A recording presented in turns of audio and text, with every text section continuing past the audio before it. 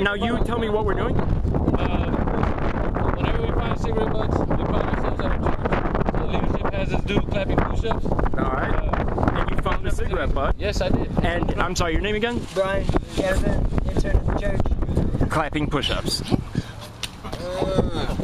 Yeah, buddy.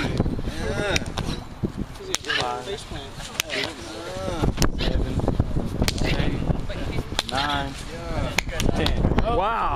Whoa. Holy cow. Nice. There you go. In what church? That's church. GUTS church. GUTS church. All right. Awesome.